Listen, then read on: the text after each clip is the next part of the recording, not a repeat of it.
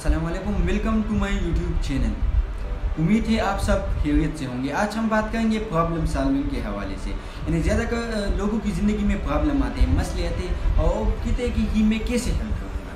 इसके हवाले से हम आज बात करेंगे। तो मैं आपको बताना चाहूँ जब कोई आपको बोलता है कि मुझे या ये प्रॉब्लम आए है, मैं कैसे हल करूँगा?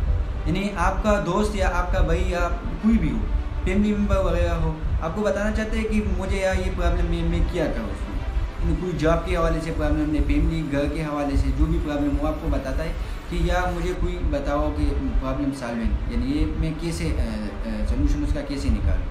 तो आप उसको बोलते हैं कि या ऐसा करो ये काम ऐसा करो ये करो और बस प्रॉब्लम सॉल्व हो जाएगी। हम ऐसे उसको बोलते हैं कि ये प्रॉब्लम तो प्रॉब्लम नहीं है, यानी ये तो मसला नहीं है। हम उसको ऐसे बोलते हैं, लेकिन उसके लिए वो बहुत बड़ा मसला होता है। तो हम तो उसको ये बोलते हैं कि ये करो और ये काम करो।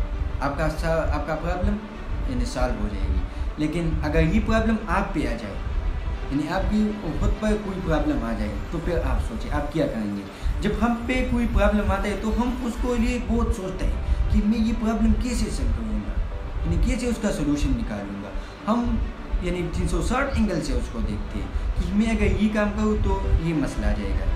ये करूँ, ये मसला आ जाएगा। यानी एक प्रॉब्लम से, यानी पचास और मसले खड़े हो जाते हैं। ये भी सच है। तो हम सोचते हैं कि ये काम मैं करूँगा तो ये मसला आ जाएगी, ये मसला आ जाएगी। हम उसके लिए बहुत सोचते हैं और उसके बाद हम सोल्यूशन निकालते हैं कि ये मैं वैसे करूँ तो बस मसला हल हो जाएगी। तो उससे एक रिज़ल्ट निकल आया कि think deeply and clearly is the solution problem यानी अगर आप कोई सोल्यूशन की प्रॉब्लम निकालना चाहते हो तो उसके लिए आप क्लियरली सोचना पड़ेगा डीपली बिल्कुल अपने दिमाग में जाके डीपली सोचना पड़ेगा। कि ये सोल्यूशन मैं कैसे निकालूँ? तो आप उसके लिए इतना डीपली सोचो कि उसका अच्छा सोल्यूशन आ जाए और जो कोई भी इसके अलावा कोई भी प्रॉब्लम न खड़े हो जाए।